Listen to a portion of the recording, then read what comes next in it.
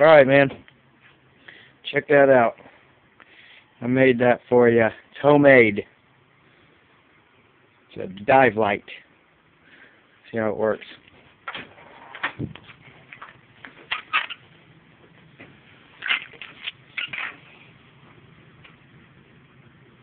I'm thinking it'll hold up down deep because it's really it's built real sturdy. It's got plexiglass in the front, but uh, and then it's got a stopper in the back.